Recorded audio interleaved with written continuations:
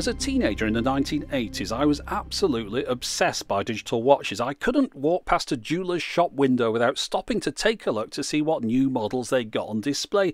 And it seemed like there was always something new coming out. You could check your pulse, the temperature, the altitude, play a game, or listen to the radio, or even perhaps watch the television. But by far the most popular gadget that was on a digital watch at the time was a calculator. Now, 30 years later, I'm sure there are quite a few people out there who are thinking, well, what was it that we needed to calculate all the time in the 80s where we had to walk around with a calculator on our wrist? Well, most people didn't actually use a calculator all that much. It's just they didn't cost an awful lot of money either. So it was a way of getting a digital watch with everything on it at a reasonable price. So you had a calculator if you needed it, but of course you had an alarm, a stopwatch, countdown timer, all those kind of things. So they were quite popular. In fact, I'd say they were actually a little bit fashionable. Now, when I got my first calculator watch, it was 1984. I'd already had a number of other digital watches before then that played tunes and things, but the reason I picked this particular model was because of the technology in it. At first glance, it just looked like a normal digital watch, but when you pressed a button, the buttons for the calculator appeared overlaid inside the glass and you operated them by tapping on the glass because it had an early capacitive touchscreen, the kind of thing you take for granted nowadays in a smartphone. But for 1984, this was the height of technology and Casio didn't stop there. Only a short while later, they brought out this watch, which looks like a normal analog slash digital watch, but it actually has handwriting recognition built into it. You could draw on the screen the numbers, and those are entered into the calculator. It's amazing the technology that they were coming up with at the time. And I know in the 80s, I was thinking that this was just going to carry on like this forever, and watches were going to get better and better. But as it was, things pretty much tapped out with databank watches and didn't seem to go any further. And then people started migrating back to using good old analog watches again. So, in a way, that's perhaps the end of that chapter, but let's take things right back to the very beginning in the first mass produced digital watch, which was the Pulsar P2. It came out in 1973, just in time to be featured in the James Bond film Live and Let Die. And there's a reason why James Bond might be wearing one of these. At the time, the Pulsar P2 actually cost more than a Rolex Submariner. Now, things advanced rapidly. It was only two years after that, 1975, when Pulsar introduced the very first calculator watch.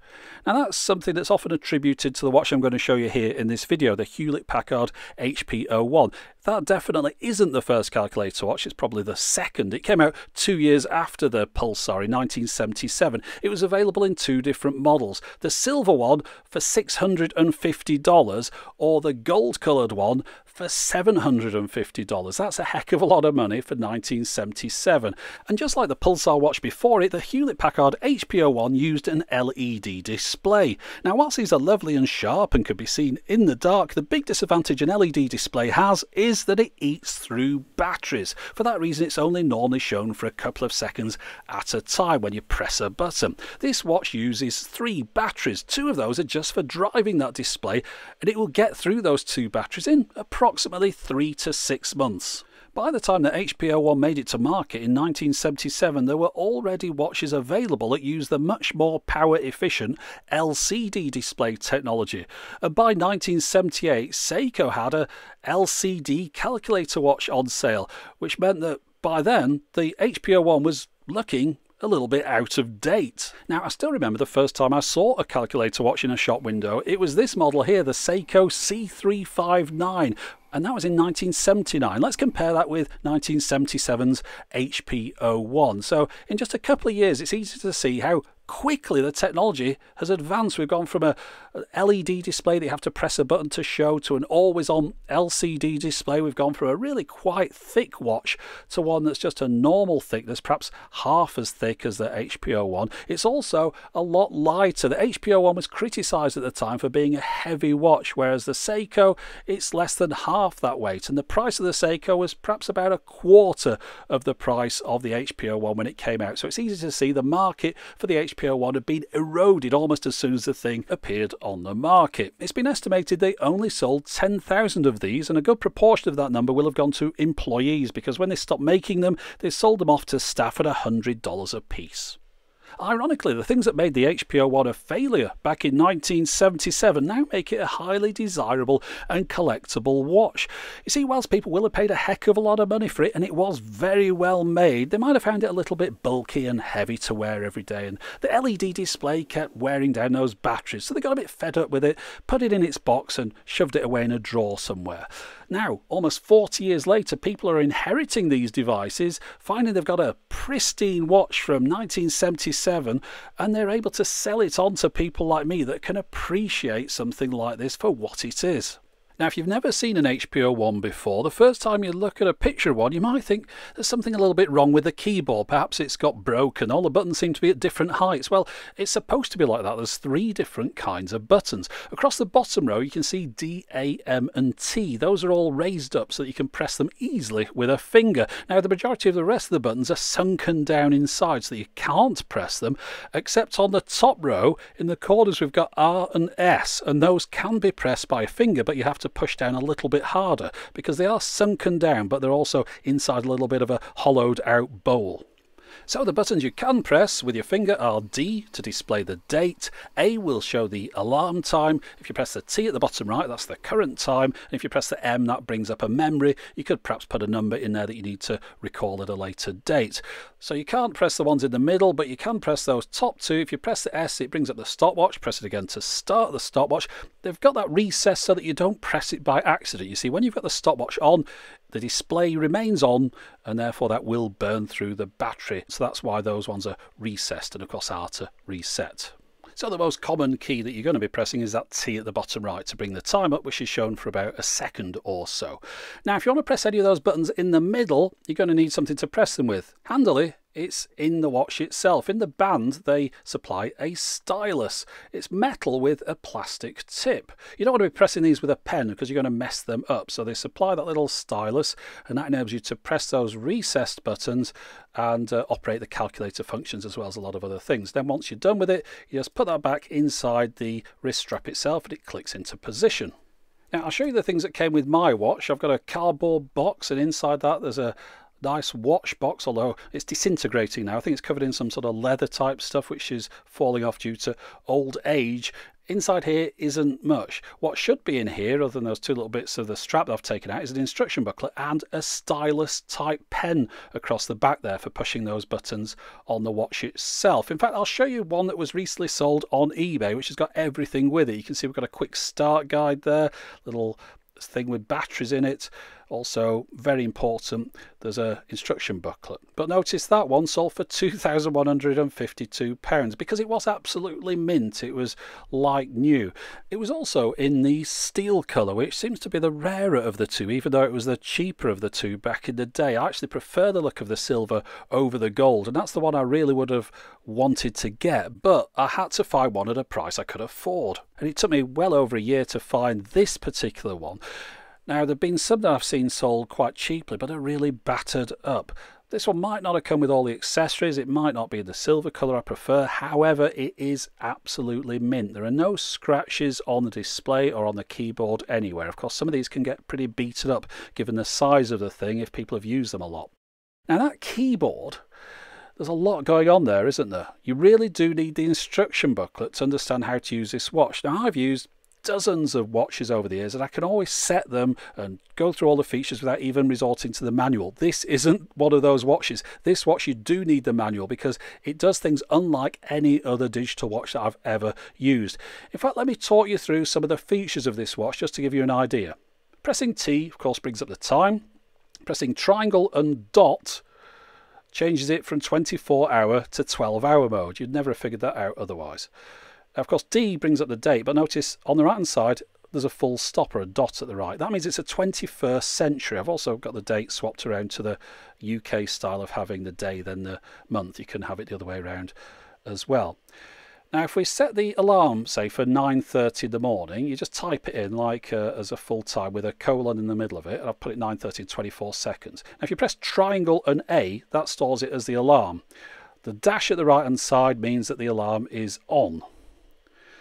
Now if we do colon 1 triangle S, that starts a one minute countdown.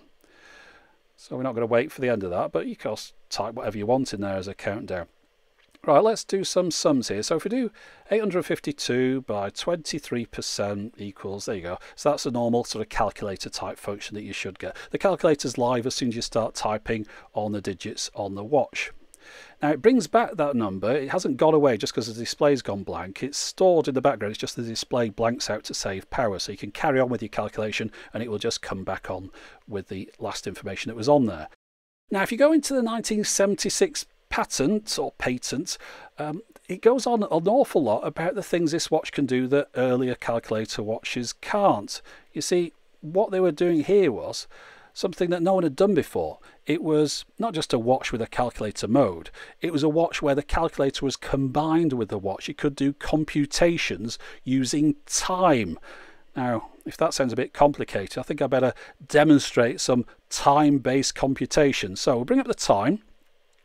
And let's say we want to know what the time is in 7 hours and 45 minutes. So we type that in. What's the time? 7 hours 45. The answer is 1047.